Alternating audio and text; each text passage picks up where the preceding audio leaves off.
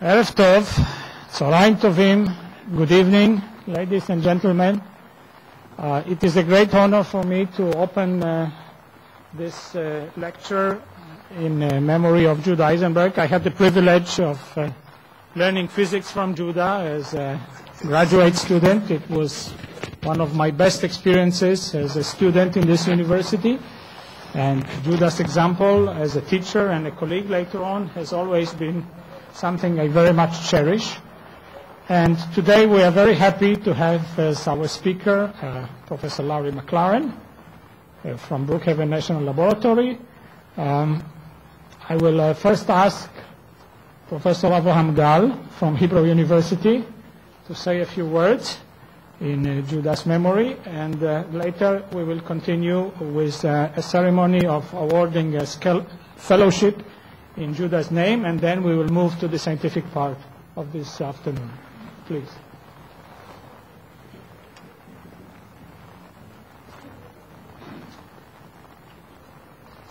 משפחת אייזנברג, נילי יקרה, ואם עוד מישהו מהמשפחה ישנו. Uh, when I came earlier today, all of a sudden I caught myself asking, uh, why did I come almost a full hour before? Was it to evade traffic jams? Or perhaps as years ago when I used to come to discuss physics with Judah, I would come uh, to have some extra time and we would just walk. Walking and hiking and exchanging views was one of our joint pleasures. And I still miss him, uh, not only for his physics, but also for the lot of cultural activity that was developing during those walks and hikes. Judah was born in 1938 in Cincinnati, USA.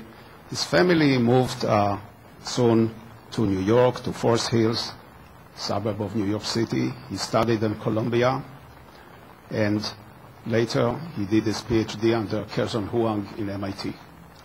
Judah was fluent in Hebrew and Jewish culture.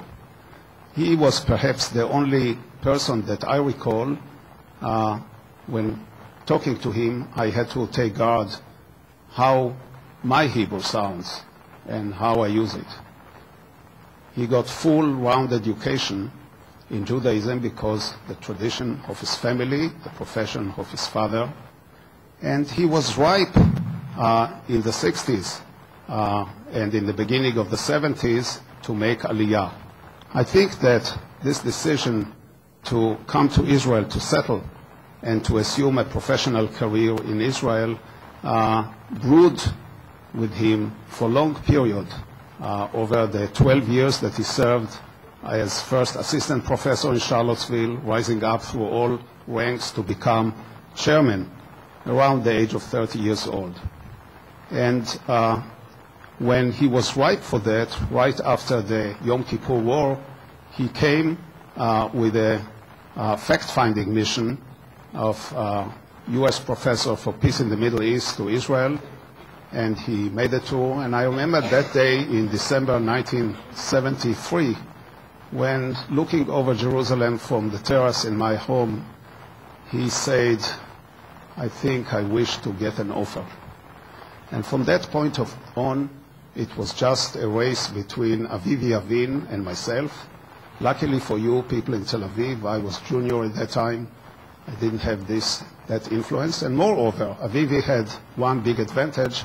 He had a young experimental group uh, with him that attracted Judah.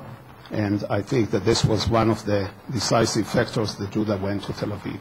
He spent the year of 74, 75 in Jerusalem, and he made, started lots of collaboration with Victor Mandelzweig, with myself, with other people from outside. And then he moved in 75 to Tel Aviv. He was already a recognized leader in pion nuclear physics. In fact, uh, his entry to pion physics occurred a couple of years before the seminal paper of the two Ericsons in 1966 that defined the framework of multiple scattering of reactions in low energy pion nuclear systems.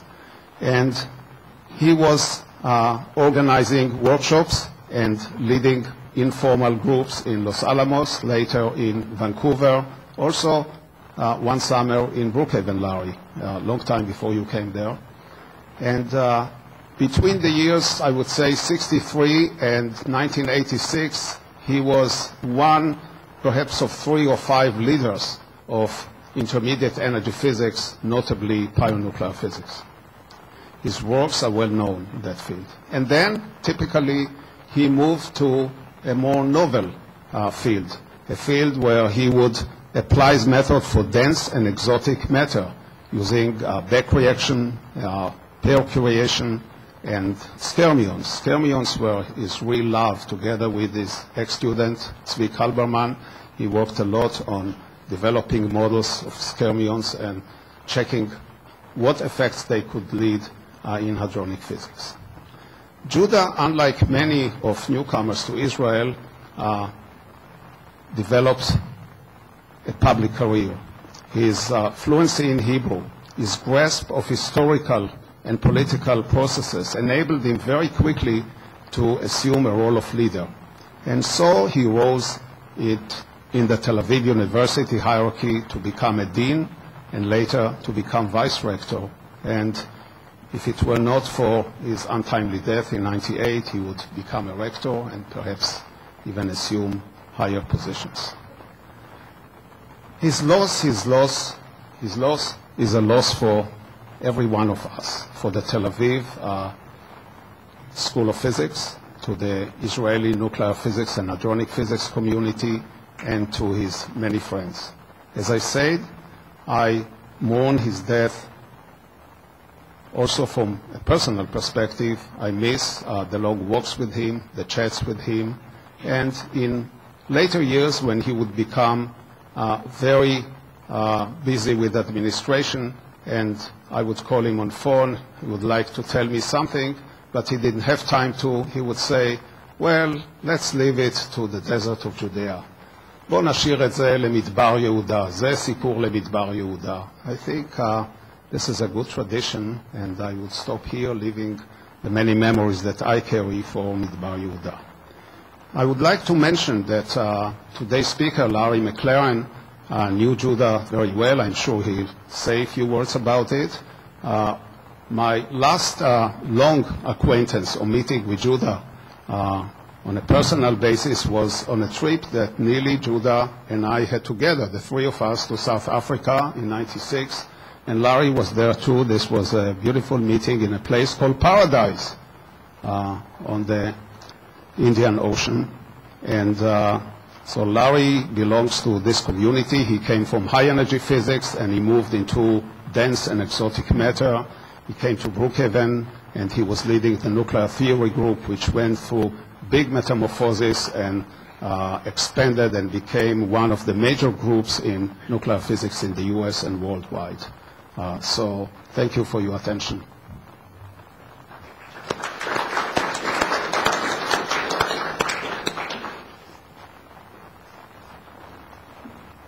I would like to invite now uh, Mrs. Neely Amit and uh, the head of School of Physics, Professor Yaron Oz, uh, to the award ceremony of a fellowship uh, to an outstanding graduate student.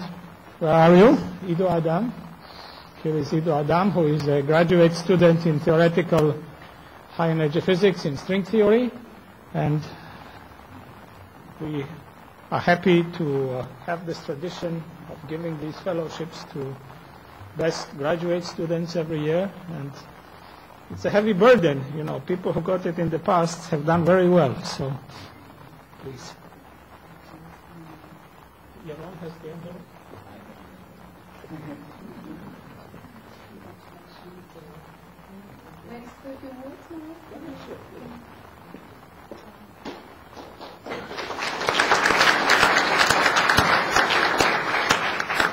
Uh, I wanted to take this opportunity to personally again to thank Larry for coming. As Avram already mentioned, we've known each other for many, many years, and always such occasions when uh, the lecturer is actually somebody who knew Judah, who was his friend, it uh, sort of means a lot to me. And uh, I can welcome him personally. And I also uh, wanted to thank all of you, all the physics department, because uh, when I see you, I don't need to tell you about Judah, who he was.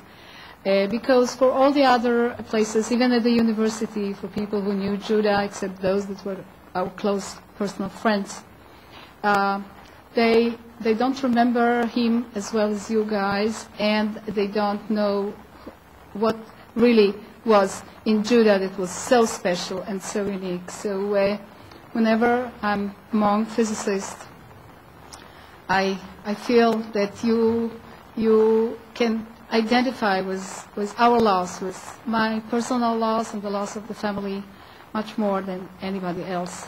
And uh, Shimon Yankielowicz is not here, but I also wanted to thank Shimon, first of all, for maintaining the rector's lectures uh, in Judah's memory, but also Shimon was the person that was so instrument, instrumental in um, creating this scholarship in Judah's name. So um, I'll also, of course, I'll take the opportunity to thank him personally, but I thought it was nice to mention that it was really his doing.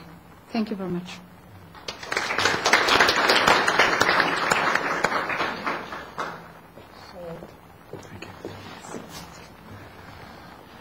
So at this point, uh, we end the uh, ceremonial part of our afternoon, and uh, we will make a three-minute break, and then we will start with the scientific part, where we will hear a, a lecture by Professor McLerran. So we make a short break, maybe even less than three minutes.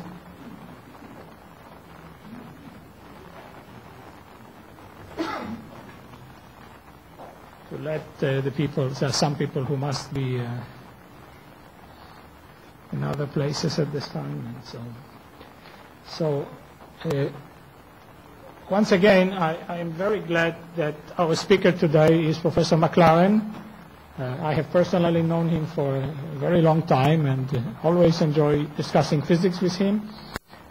Uh, he is uh, currently uh, the head of the RIKEN theory group at the Brookhaven National Laboratory dealing with matter in extreme conditions which are being recreated at the, the Brookhaven Accelerator. Professor McLerran obtained his PhD from uh, the University of Washington in Seattle. Later uh, was a postdoc in SLAC and MIT, at MIT, and he was at the University of Minnesota also, and is currently, as I said, in Brookhaven, where he is uh, indispensable in providing the theoretical guidance uh, in these times, which are very exciting, as you will hear.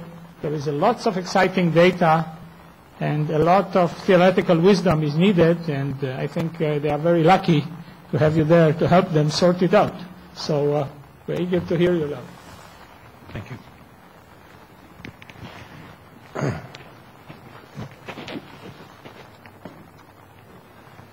Okay, can people hear me, I guess?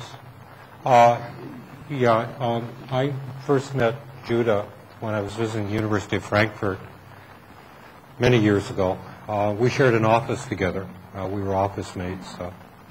Judah was a person who was remarkable to me because he was uh, one of these rare people who's absolutely honest and filled with kindness. Okay, he was also a person who, uh, by a series of coincidences or whatever, uh, uh, hired some very good friends of mine into his group, like Ben Svetitsky, and like later Leonid Frankfurt, and he also was also at a department of people who have always been very good friends of mine, who I like very much. And uh, he's a kind man, a nice man. And I remember very much the time we had together in South Africa in, uh, in, uh, and one of the things which we did together was uh, we, uh, Judah, Nelly, and I, and a bunch of other people went on a long hike into the uh, on the inland mountains near the coast, up to a waterfall, and had just a wonderful time talking about all sorts of things. That we didn't talk about physics much, but we had a nice, really a nice day. He was a very nice man. In, in this talk, part of the talk uh, is is about some topics which are related to things which Judah thought about and did some work on, actually Judah and Ben and, uh, did some critical work on, and I'll try to make relations to that when we get to that part of the talk. So let me begin. Um, okay. Uh, what, what, what are the questions I want to try to address in this talk? Uh, basically three questions. One is what is the high energy limit of QCD? Another is what are the possible forms of high energy density matter? And how do quarks and gluons originate in strongly interacting particles? That is, how do you calculate the distribution functions of quarks and gluons in strongly interacting particles?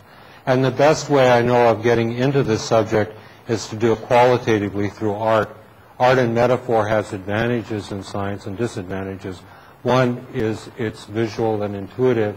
The other problem is it's very subjective. But the subjective nature of art is very useful at times because, as we know, theoretical ideas change as a function of time. And sometimes the words and concepts we use, and even the mathematics which we use, metamorphizes into different ways of thinking about problems as time evolves. And art has that property very strongly. But in any case, it provides a useful way of thinking about what we're doing. This is a picture of a heavy ion collision. We begin with a color glass condensate. It makes some thermally equilibrated matter, quarks and gluons, the quark gluon plasma, and then expands and eventually produces particles which go out in a detector. And this is a picture of a distribution of particles which is seen in the uh, star experiment. I'll call that the little bang. The big bang is, of course, the big bang. There you have an initial singularity, inflation where the universe expands very rapidly. It eventually thermalizes. Matter is, uh, and density fluctuations in matter are generated, uh, which eventually are seen in the form of distributions of galaxies and ultimately, hopefully, will be seen in the distributions of dark matter in the universe. These things have a formal similarity in that one's talking about expanding matter. And in fact, there are actually some mathematical singularities with what happens early on in the collision and what happens early on in the Big Bang. And in fact, some of the things you look for experimentally are related to the things which you look for experimentally in the Big Bang. But it's metaphor and it's art, and it serves as an introduction to the way we think about these problems. Here's another set of artwork. This, this piece of artwork is due to my friend Tetsuo Hatsuda at the University of Tokyo. This one's due to my friend Steffen Bass at Duke University. This picture is two nuclei approaching one another, which I'll call a color glass condensate, and I'll define what I mean by that later in the talk. They collide, and when they collide, I'll call that the initial singularity. That's sort of the tip of the light cone in this picture, which isn't shown. And then after they collide and this initial singularity evaporates away, one has plasma, which eventually forms a strongly interacting quark-gluon plasma, which eventually makes a hadron gas, and hadrons go off to detectors. I'm not going to talk about these two latter stages of the collision.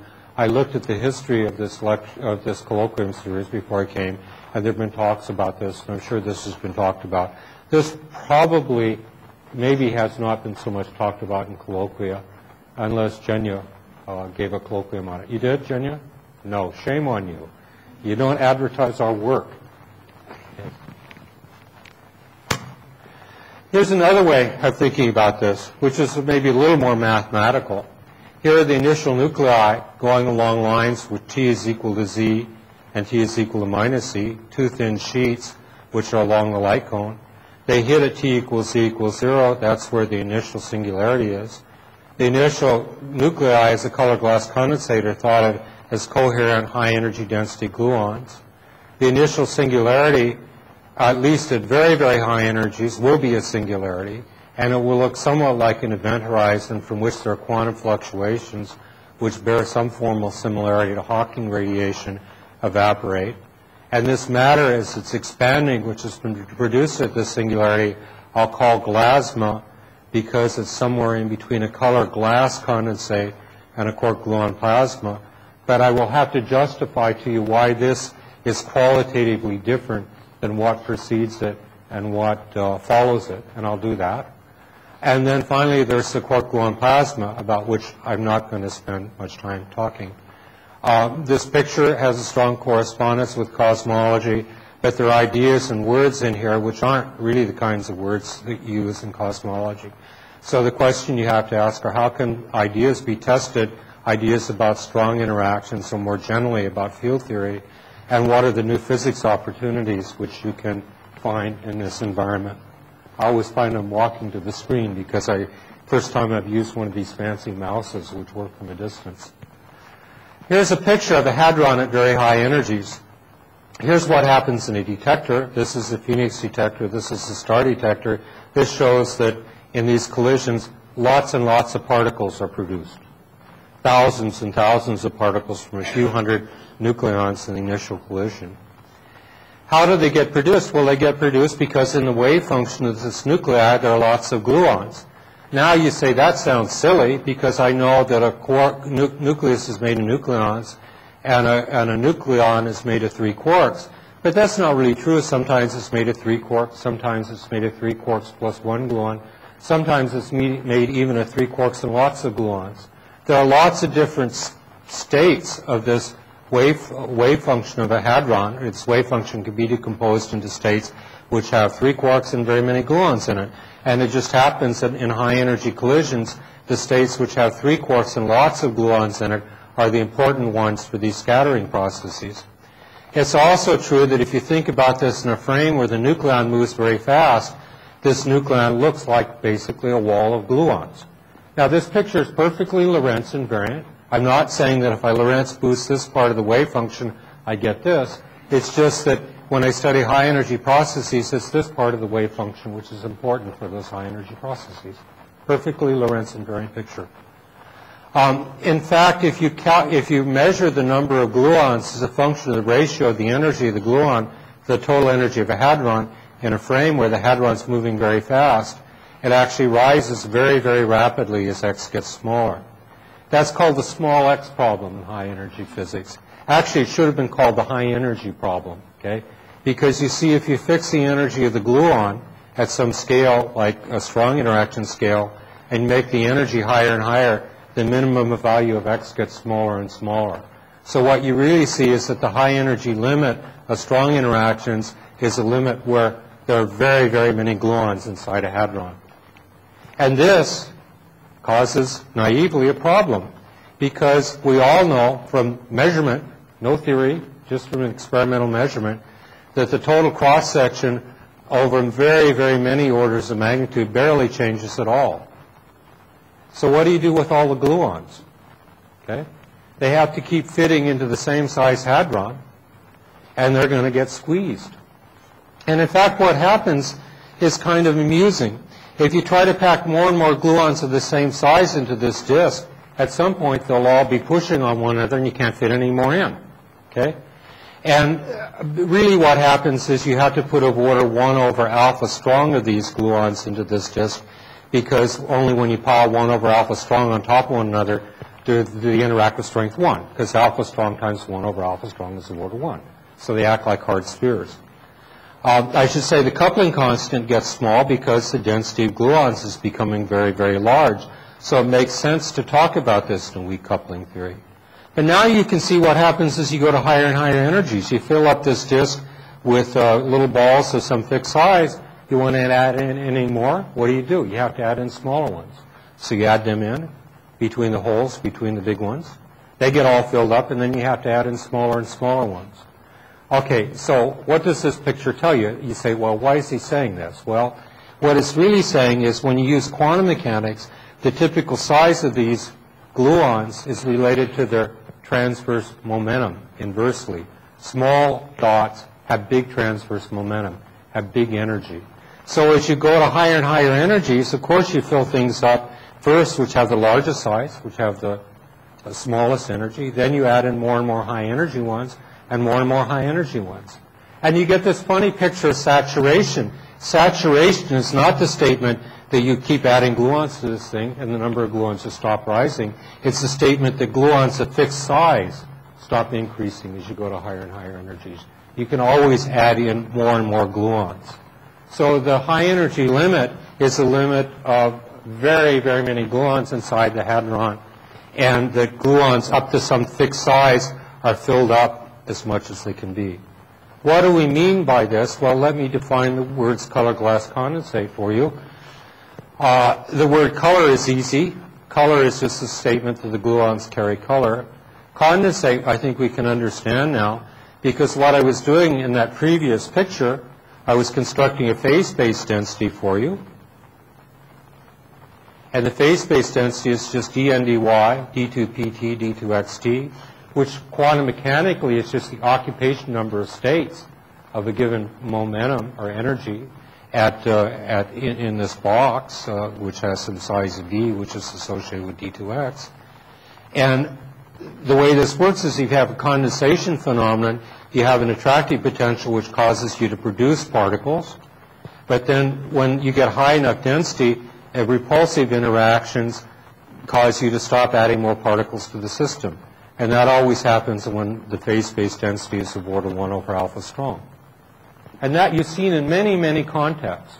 You've seen that in the context of superconductivity, where you have the Landau-Ginzburg model, and the condensate ends up saturating at some density involving inverse coupling constants. You see it in the Higgs model of vacuum and electroweak theory, where the Higgs condensate saturates at 1 over lambda. It's even true in these atomic traps that the density, if you could keep piling things in, uh, in, in would eventually saturate at some density associated with the inverse strengths of couplings. Okay, so I think we can understand the words condensates. You should also recognize that because the phase space density is very high, that means it's a highly coherent object, and it's probably described by some kind of classical field. Where do we get the word uh, glass? Well, that's where you have to have a, little creative imagination. You imagine that you have very high energy hadrons moving very close to the speed of light. They have some very high energy gluons with them, and they make some lower energy gluons. Those high energy gluons have their natural timescales Lorentz time dilated because they're moving fast. Therefore, the slow ones which you make have their Lorentz timescales dilated also because they're produced by these fast moving guys. So even though these slow moving folks which you see in the uh, in, in, in, the center of mass strength, slow moving means they have a Lorentz gamma factor of order one. They're still moving close to the speed of light. But, but, it, but, but they have their natural time scales of interaction dilated by a gamma factor, which is huge because they're produced by these very fast-moving particles. Systems which evolve over very long time scales compared to their natural time scales, I just call a glass, okay? That's sort of the colloquial definition of glass. Glass is a liquid on very long time scales, but it's a solid on short time scales. Mathematically, this also has the property that when you write down a theory of this stuff, the theory you write down is the theory of a spin glass, which involves an incoherent sum over external fields, and that incoherent sum comes about because you, you decohered the system due to long time scale. That's technical details. My definition of glass is just very simple. It's a system which is evolving very slowly compared to natural time scales. Okay, but those of you who um, demand intellectual honesty probably got very upset at what I said in the last few seconds about fast and slow moving because I didn't define for you what was flat, fast and what was slow. By the way, Jesus. Oh, okay. Um, I hope I didn't do anything. Okay. Okay. Um, you, you should feel free to ask questions during the talk. I always like people who ask me questions and, and give me a hard time because that makes me at least feel, you know, that I can maybe explain something. Okay. Is everybody with me so far? Everybody's with me so far? No problems? Anyhow, if you, if you, oh, it is very important. Oh, that's a very good question. You see, if, if, if, if gluons were fermions, the space-based density could only be of order 1. But because they're gluons, or bosons, you can get them to be of order 1 over alpha strong. You can get them to be much larger than 1. And that's really important because that's what says that at high energies, hadron wave function is completely dominated by gluons, and fermions are playing a secondary role. Okay? Very good question. Okay, but first, first thing you have to ask is what's fast and what's slow in a hadron, and I said that's sort of arbitrary. Uh, because they said the fast-moving folks make the slow-moving ones. Well, in fact, the picture is a little uh, more complicated. Here's a picture. Experimental data at RHIC, where you plot the density of particles as a function basically of the logarithm of the energy of the produced particle from the beam energy. The blue curve is what you get at lower energies. And you see if you go to higher energies, the red curve is there, and it looks just like the blue curve for the fast-moving folks. So you might think for the blue curve at this energy, you can make a theory where these degrees of freedom were maybe frozen out and were sources for the low energy degrees of freedom. And then when you wanted to go to a higher energy, you'd maybe have to integrate out degrees of freedom here and turn them into sources, which are now on this red curve, which generates the theory for the low energy degrees of freedom here. And then when you went to yet higher energies, you'd have to integrate out the degrees of freedom here to make the black curve and have a theory which generates the thing at lower energies there. That process is a renormalization group. You're just integrating out the higher energy degrees of freedom to make an effective theory for the lower energy degrees of freedom. And there's a well-defined way to do that, and you can do that from first principles in QCD. And in fact, the surprising thing you find is when you do that, you find a spin glass type theory. And that spin glass theory has a renormalization group which determines the density of, uh, of sources in the system. And that theory has a universal solution. And universal is really important because universal means no matter what hadron you started from, be it a pion, a nucleon, a gold nucleus, or, or uh, iron nucleus, the matter which you're describing in the high energy limit is universal, and it's described by one thing. There's not a color glass condensate which comes from a gold nucleus, or color glass condensate which comes from a nucleon, or color glass condensate which comes from a pion. It's one and the same object described by the same theory. The order parameter is in fact the gluon field itself. Okay. Now, now, okay. The, the, the, the, problem is that in order to make the theory gauge invariant for the glass, you have to average overall configurations. And when you average overall configurations, the gluon field density itself vanishes, although the squared gets a, a moment. Um, the issue is that in the glass, it's an incoherent sum, okay? It's not a sum with an i, it's an e to the minus something. And that incoherent sum is really telling you you're really summing over individual configurations which have an expectation value. Okay? You know, one can quibble technically over exactly what are the right precise words to call this, but that's what it is, okay? And, the gauge invariance is broken in each configuration, which is restored by the incoherent average. It's like in an ordinary glass. If you look at an ordinary glass which sits on a table, okay, you look at where the atoms are distributed, and those atoms are distributed in a way which violates translation invariance.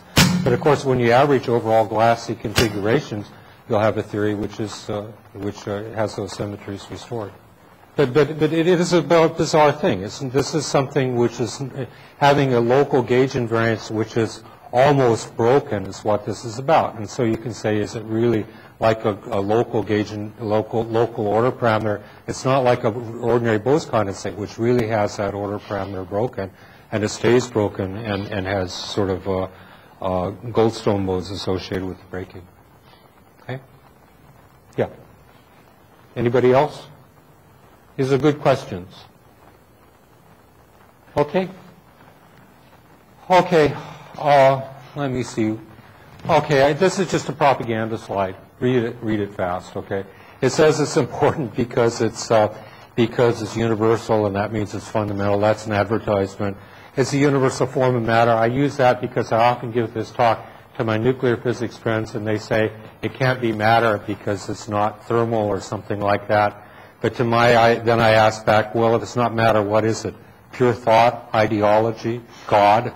Yeah, that would really be wonderful. It was one of those things that you discovered in physics. But no, it's just matter. It's just just a bunch of gluons which are uh, piled together inside a box, and the separation of gluons is small compared to the size of the system. The number of gluons is large. It's just not a system in thermal equilibrium, and it's also a system which is moving very fast, close to the speed of light. Okay. But, but, it, but it's matter. Sure enough, if it runs into you, you will feel pain. Okay. What does a sheet of colored glass look like? Here's a sheet of colored glass moving close to the speed of light. Here's what the fields look like. This should look, oops, what did I do? This should look familiar to you because if you took Coulomb fields and you boosted them close to the speed of light, you make these fields which look like an electric field in one direction, a magnetic field perpendicular to it, and both perpendicular to the direction of motion.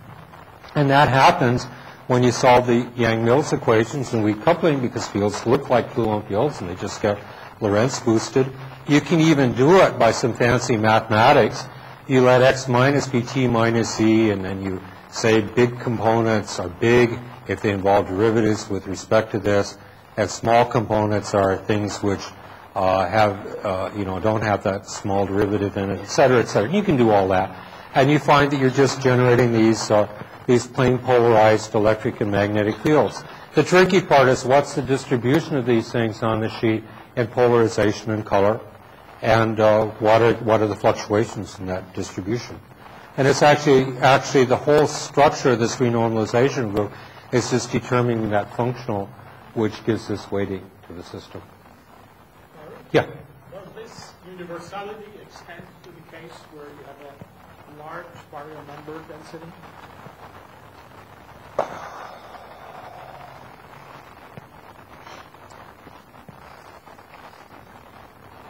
I don't know how I would do that in practice, uh, you know, because, or, um, yeah, but the problem is that baryon density spread out over, you know, a,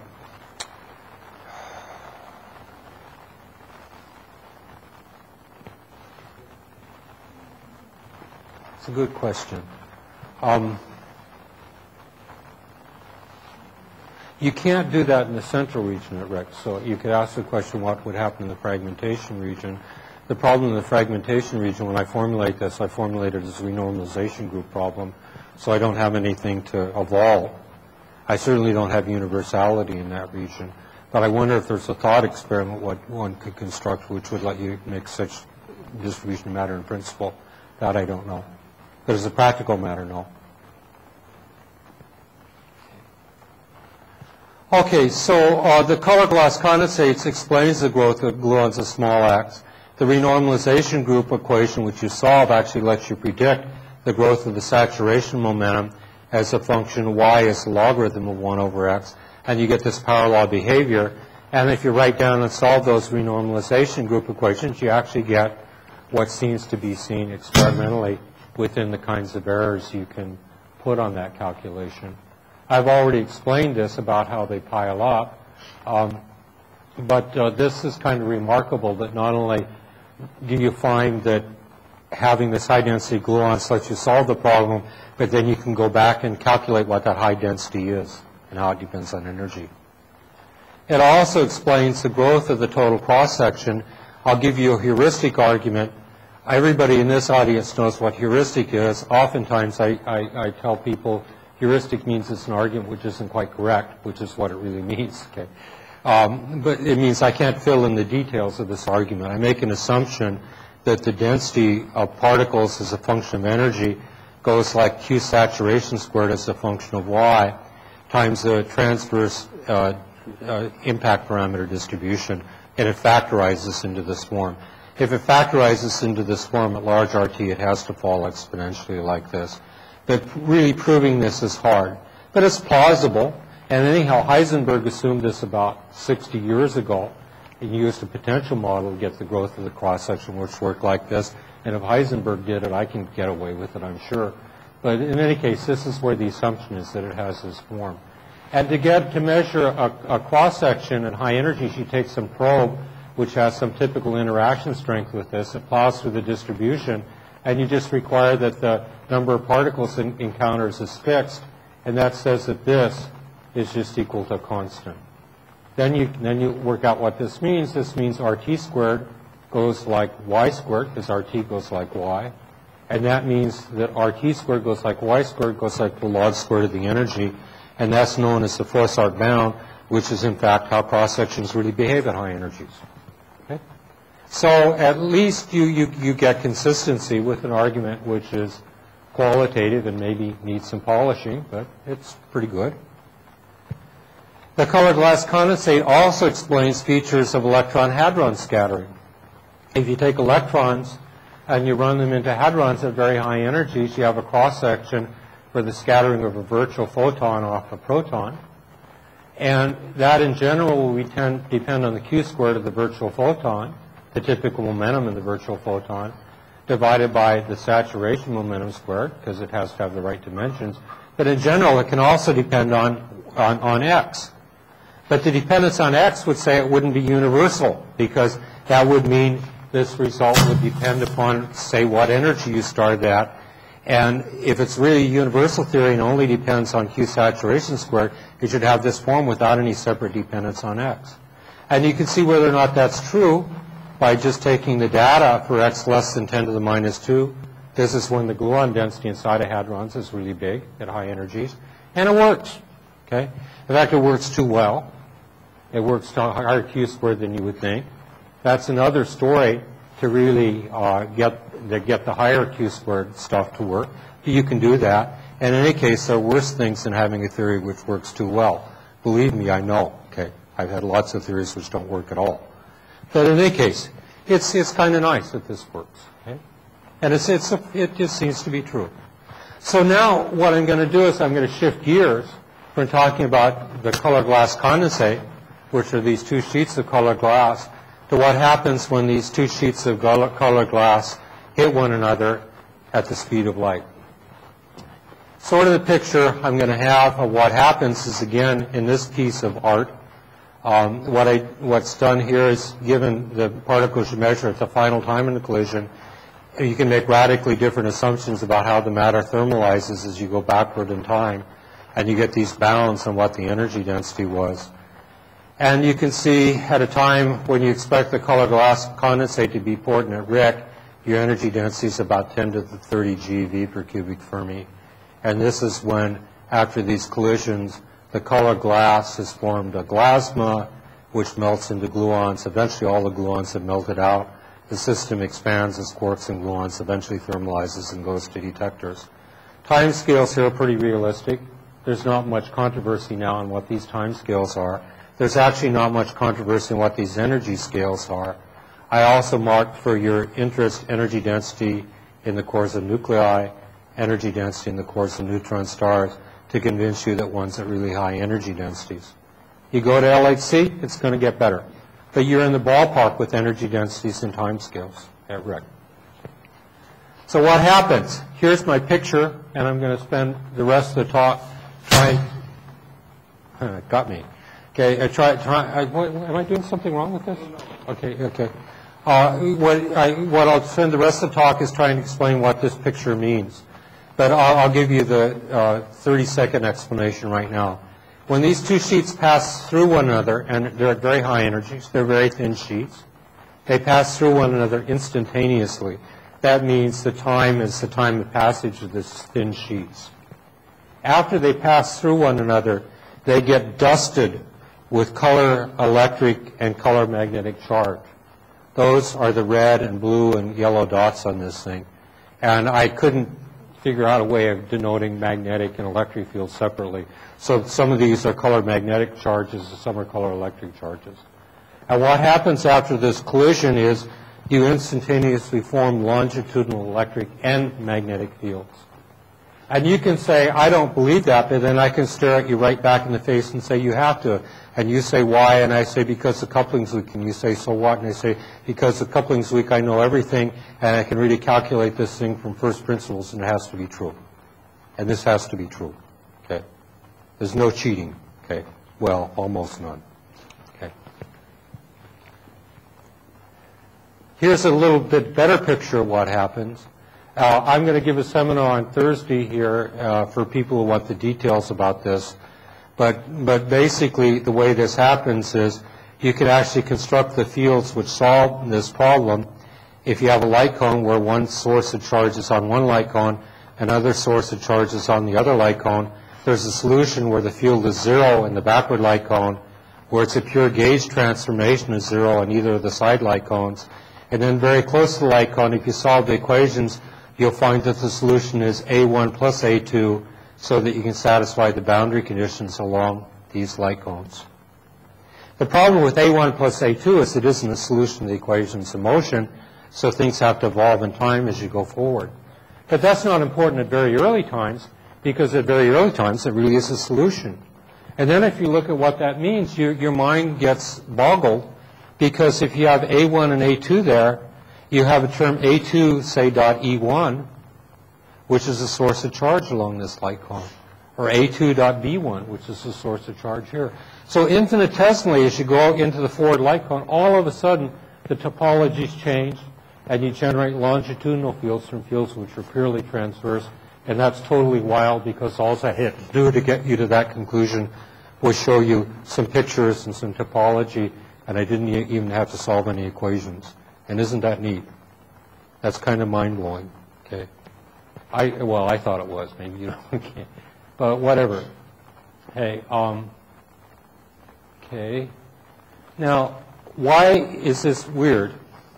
Well, having both electric and magnetic fields in field theory uh, is actually kind of an interesting situation.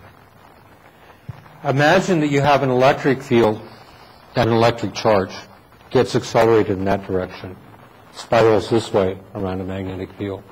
Now take a, an, a positron. It goes in the opposite direction, but it spirals in the opposite direction. So such fields always will generate uh, um, vorticity in the fluid. It will prefer certain kinds of chirality. What I've given you there is sort of a 15-second derivation of the 't anomaly, which says these strong fields can produce pulp particles of a particular helicity if they get to be strong enough. So these fields actually do weird things, like locally they violate CP and stuff like that, and parity, and they do funny things to uh, charge. They also are associated with things called anomalies in field theory. In electroweak theory, such an anomaly is, perhaps generates the baryon number of the universe through the electroweak anomaly. In QCD, it's associated with the generation of mass, the masses of protons and neutrons, uh, and it's anomalous mass generation.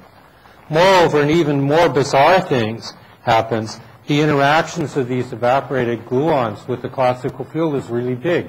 Because even, those, even if those gluons have weak interaction strength, the gluon field itself is strong, has strength 1 over g, and so it's very strong. So maybe these fields even generate thermalization of the matter in these collisions. Maybe, maybe not. But certainly the, uh, the, uh, the um, structure is interesting.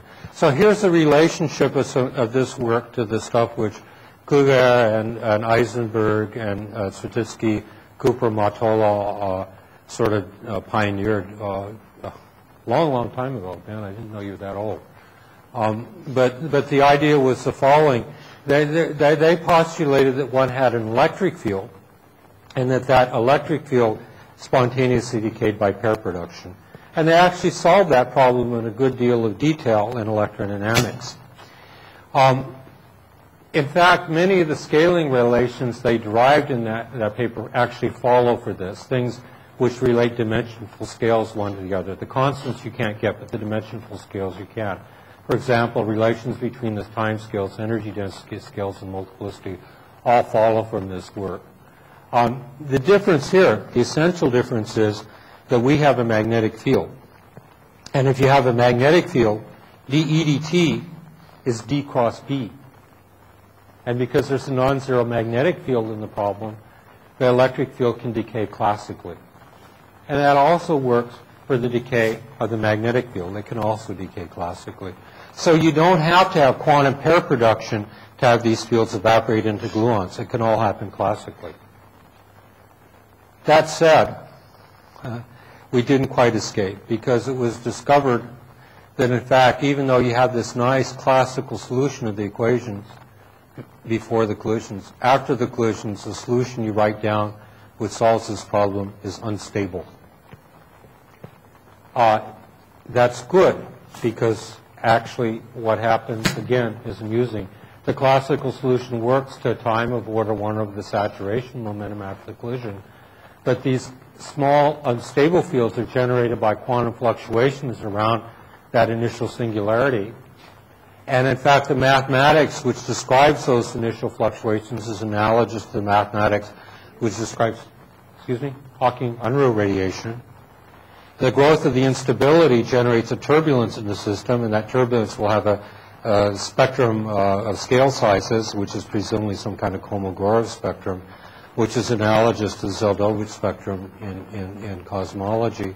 It will generate fluctuations. Those fluctuations are like what happens in inflation, which at late times become the seeds for galaxy formation.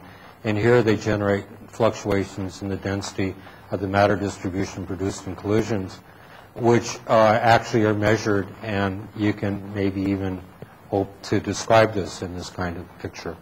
I found it absolutely amusing, actually, that after trying to escape all of these quantum fluctuations and pair production stuff, which I tried desperately to escape for so, so long, then in the end it came back and bit me on the tail, right? That you can't get away from it. These solutions actually do have the instabilities. They grow and eventually they become so big they eat up the classical solution. I don't know of any other situation where this happens except in cosmology when one describes inflationary universe cosmology, sort of a similar situation goes on. But it, it, it's kind of neat. Okay, uh, well, the color glass condensate, and uh, Glasma made some predictions for RHIC. Um, it predicted the total multiplicity. This is an ancient plot. It's not reproduced very well because I wanted to remind you it was ancient. When they first measured the uh, multiplicity, uh, we got it right and almost everybody else got it wrong. And in fact, nobody got it right for the dependence of the multiplicity on the centrality of the collision everyone else got sort of too rapid a rise. The reason why this is not rising so rapidly is if you have incoherent scatterings, incoherent scatterings cause a rapid rise as you increase the centrality of the collisions, but coherence cuts this off. Coherence actually works in the direction of reducing the magnitude of the effects you would have from the incoherent scattering case. It makes the system uh, more opaque, if you like. But in any case, one can describe the spectrum of fluctuations quite well in this kind of saturation picture and even more or less get the constants of proportionality right. There was also a test of these ideas um, when one had um, um, tried to describe the distribution of particles in transverse momentum as a function of, say, the X of the nu nucleus which generated them. Remember, we're describing what happens for the smallest X gluons in a, in a nucleus. Okay? And so as we go to smaller and smaller X, our approximations become better and better. Now, suppose you take a proton and you try and run it through a nucleus. Classically, you'd say it just multiply scatter, and you produce more particles at some PT. Of course, probability is conserved, so you have to steal particles from low PT to make them at high PT, and at extremely high PT, the kind of typical transverse momentum you get compared to the momentum of the particle is really small. So you characteristically get this kind of behavior. At, uh, at small PT, it's relatively small. It rises, it has a Cronin peak, and then falls down as you go to higher and higher PT. And that's what people had expected. But the saturation or color glass picture says something different. It says you also have to take into account as you go to smaller and smaller values of x or higher and higher energies, that the gluons can't quite evolve as, uh, as, as rapidly as you naively thought they would. Because what's happening, you have the saturation scale where all the gluons are packed together, uh, and you can't put as many down there as you naively thought you could. And what that means is when you solve the evolution equations, you don't make as many gluons as you thought you could because you can't put them into these places where they're really tightly packed together. So that means that the number of the, this curve should fall in magnitude as you go to smaller and smaller values of extra higher and higher energies. And in fact, what the surprise were these calculations which were done by these folks, uh, some of the folks who did these things were here. And uh, they found that at low energies, uh, you in fact had this nice Cronin peak. You went to higher, higher energies and disappeared. And in fact, on this curve, it happened very rapidly. And of course, uh, what happened was they did the experiment. And here's uh, what happens when you're in the forward region. This is when you have a collision which is uh, not so uh, central, and this is the most central collision. First off, you see that these uh, ratios are less than 1, meaning they're suppression, not enhancement. And the other thing you see, which is dramatic, is that in the more central collisions where you would have thought there would have been more scattering out of the beam, there are less particles there. and that's due to evolution effects. Oops, what did I do? I did something bad. Okay. You can also see this another way from the PHENIX experiment. In the PHENIX experiment, they can measure things simultaneously in the backward region and the forward region. And uh, for not so central collisions, they see the Cronin enhancement in the backward direction, particles being scattered out of the beam at low x, and it's at, at high x, and at the central region is sort of kind of about one. In the forward region, not too much is happening here. Things are about one. But now you go to more central collisions. so Cronin peak is really enhanced for the things which are in the fragmentation region of the nucleus. The small x stuff has really gotten suppressed. Okay? So it looks qualitatively like what you expect from these pictures. Now, of course, the story is that, you know, all the betting was against you when you started, okay? But all the bets changed sign after the experiment came out, okay? So, you know, you can, you can make predictions. Predictions are good. They carry some sociological and psychological value. We got it right. Other people got it wrong. Does it mean it's right? I don't know. You know, one has, one needs more and more tests and refinement. And ultimately, in theoretical physics, you don't show that theories are right. You show they're wrong, okay? And one can pass a number of tests, and this passes a number of tests, but we'll have to see as things get more and more refined.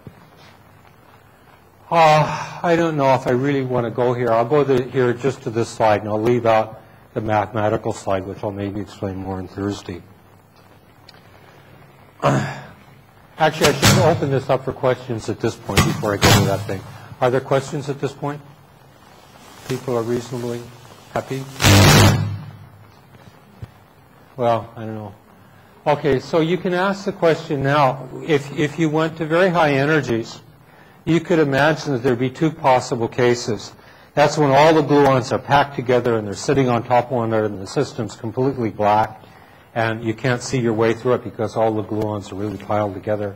And the other situation is where all the gluons are uniformly distributed over the disk of the object and that's the other phase of the system. And you can ask whether that's true. And the surprise is it does not seem to be true. What actually happens is more bizarre. Actually, at the very, very high momentum scales, very small resolution scales, when the density of particles is small, the gluons clump together in spots. And these spots are highly coherent, if you like, spots of color glass condensate, where they're highly coherent. And if you ask what this means for high energy scattering, you will be surprised because you will see that because these things are acting coherently and they're sitting on top of one another, uh, this doesn't factorize in, in, in, in, the ordinary sense. The word factorization means if you take a very tiny probe and run it through the system at a very, very high momentum scale, you'll measure the distribution of objects in this thing. And then if you take another probe, okay, you should be able to calculate how that other probe at another scale uh, behaves, for example, a proton or a nucleus. And in fact, there'll be no factorization between a dilute probe like an electron and a dense probe like a proton or nucleus, which has a distribution of spots like this. Another way of saying it is spot-spot scattering is not the same thing as taking incoherent gluon-gluon scattering. So factorization breaks down, which is one of the sacred cows of, uh, of uh, high-energy physics. Um, it's a sacred cow but it's a sacred cow which you can't prove is true in the small x limit. And what usually happens in physics is when you can't prove something is true, it turns out not to be true. But uh, it's a surprise, and maybe this is the case, and it maybe can have some dramatic consequences for very high energies. It should have uh, dramatic consequences for LHC. Yeah, yeah, that's very high energies. Yeah, that's right. Will you tell us what consequences? No. The, but the, but the obvious one is you'd have to compare electron-hadron scattering with, uh, with uh, nucleus-nucleus scattering. That would be the simple one, to, the simple one, which is most direct. And you'd find that the gluon distribution function you'd measure in lepton-nucleus scattering would not be the same that you measure in hadron-nucleus scattering. Nucleus-nucleus compared to hadron-nucleus is more complicated because you need to know more about the details in a proton relative to that of a nucleus. Okay. This is very, very new, this story, okay? And uh, what its consequences are. It, it does have this consequence. In detail, what it is, has not been worked out. Okay. Okay, so I want to finish, uh, finish here and just open it up for questions. Okay. Okay. We have time for questions. Please. Yeah. You said that uh, this glasma evolves into this uh, strongly coupled uh, core plasma. Right. I mean, is it uh, obvious that it should be strongly coupled or it might? Uh, No. It's not obvious. Um, The, the, the, the the issue is, I, I, in fact, I, I I don't, I try to use the word strongly interacting quark-gluon plasma rather than strongly coupled. Strongly coupled in field, in this context means that the intrinsic coupling constant of the theory is big. Strongly interacting can mean that there are strong interactions even though the coupling is weak. There are examples of that in physics. A, a, a Coulombic system where you have a nucleus which has a very large Z, even though E is small, Z alpha is big. So when you scatter electrons off a very highly charged nucleus, the interactions are very strong. So coherence can sometimes generate effects which look strong, even though the intrinsic coupling strength could be weak. Okay. Now the issue of the strongly interacting quark-gluon plasma is an issue which is one which is experimentally driven. Okay. Um, there are claims that when you do hydrodynamic calculations of these collisions, that those hydrodynamic calculations will describe the data quite well if you set the viscosity to be small. That said, you're also making very specific assumptions on the initial conditions for those collisions. And if you change those initial conditions, you can compensate for that by adjusting for viscosity. Um, so I, I, you know, I think it is true that, that it is quite remarkable that the hydrodynamic calculations get you close, okay? The conclusion that it's really strongly interacting or of intermediate strength interaction, what's really driving the dynamics, which gets it close to the hydrodynamic limit, um, I'm a little skeptical of. It may turn out it's okay, If it's true it is strongly coupled, but then it's an empirical fact, it's not being driven by any strong theoretical prejudice one way or the other. And- and- Expect to have a string gauge duality description of this plasma. Uh, well, in the Glasma, you can't, because the Glasma is a weakly coupled thing, uh, and it has high, high, high uh, uh, color, color field densities. And, you know, the color field density goes like 1 over g squared, okay? So g is strong, of course, you won't have that kind of coherence. Um, in, in the quark-gluon plasma, it's a different story. And, and there can be in principle, and it's, it's an interesting question to try to sort that out and, and see what the truth is. Uh, and presumably that will happen.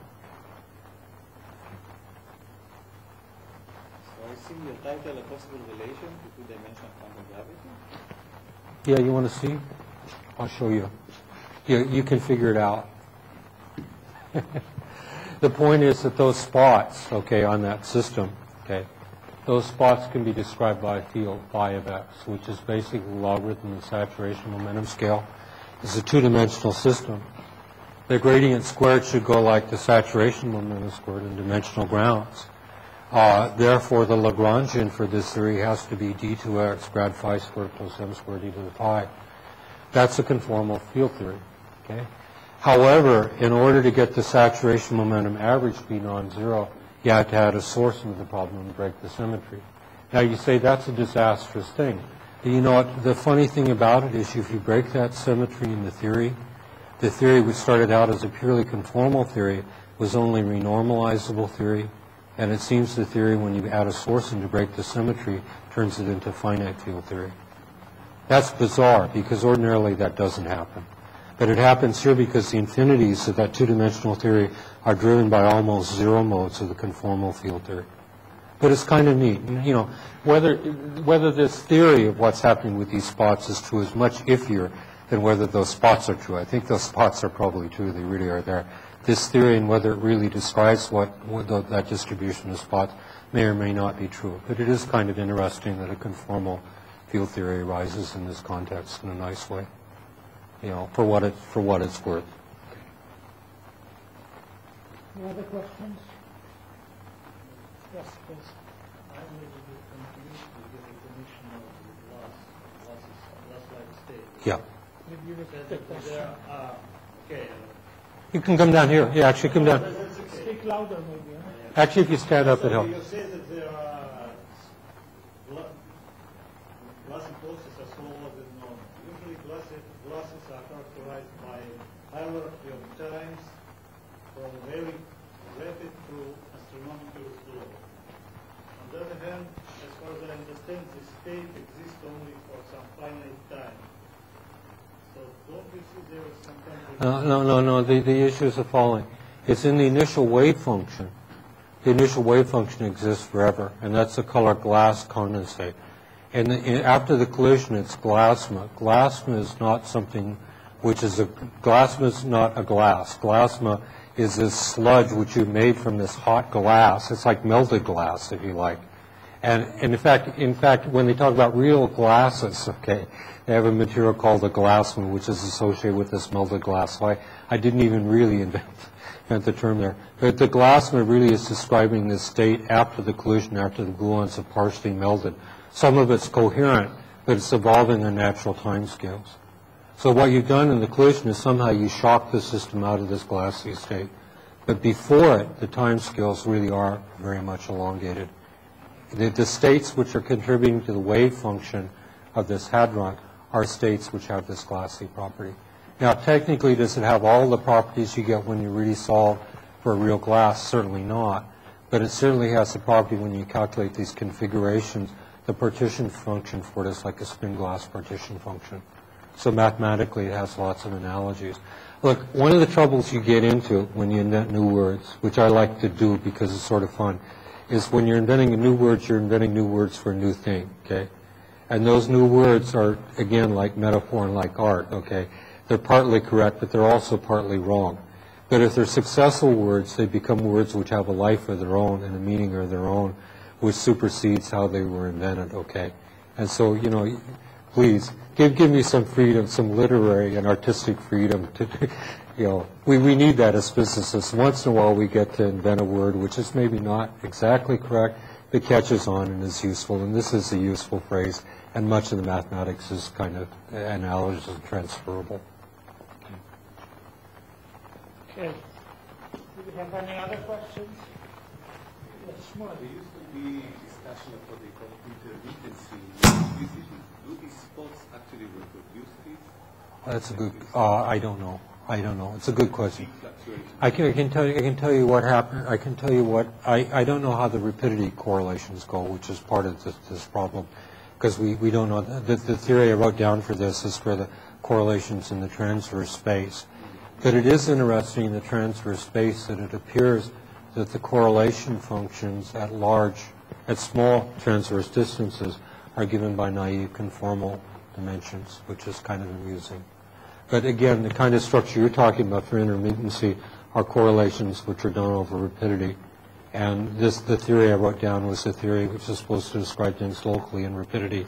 And, you know, one could go beyond this in principle, but it hasn't been done. Yeah, Ben? Is there any picture of QCD where you have a collision, you create a longitudinal field that eventually breaks down into the particles you get? Yeah, that's what I referred to, your stuff. Yeah, yeah, I Yeah. know. I, I- I sort of remember. Um, Yeah, You were talking about the, um, the instability of the longitudinal field. sure. Right, the, uh, the plates of glass which have transverse fields, we, uh, pass through each other, leave behind the longitudinal field, which then breaks up. Right. Uh, this instability is supposed to lead to chaos, turbulence? Well, look, What's left of no, no, no, no, no, no, what, what happens first, okay, because there's a non-zero E and a non-zero B, that classical longitudinal fields can classically evolve away into transverse fields. Like radiation fields, when you generate radiation from an antenna, you have coherent fields near the antenna and sources, but far away from the antenna, you have just purely transverse fields, okay? That's what happens here classically. Unfortunately, that solution's not quite correct, okay? Because when you get, when you get to, when you look at small perturbations around that naive classical solution, a boost invariant classical solution, you find that non-boost invariant fluctuations grow. And eventually they become as big as the classical field you started with. So the system which was nice and flat in rapidity, in a rapidity distribution looked like this, after some time, gets all sorts of wiggles in it. And those wiggles are generated by those unstable modes. So it, in the end, it is quantum fluctuations which are driving the system, but in this bizarre way. It could start off classically, but eventually the quantum fluctuations catch up with it. Weird, huh?